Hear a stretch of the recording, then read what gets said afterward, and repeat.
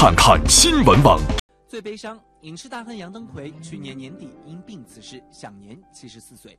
昨日他的追思音乐会在台北举行，一众艺人，包括张飞、林心如、蓝正龙等人纷纷到场致意。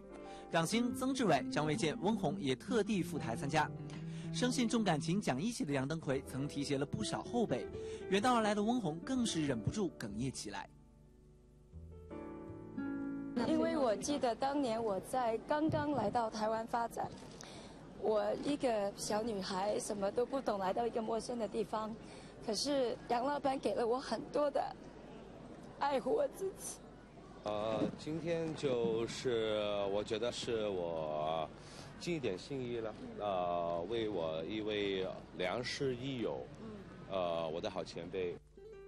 追思音乐会现场，老中青三代港台艺人齐聚。融合了泪水和歌声，共同祝愿杨登魁一路走好。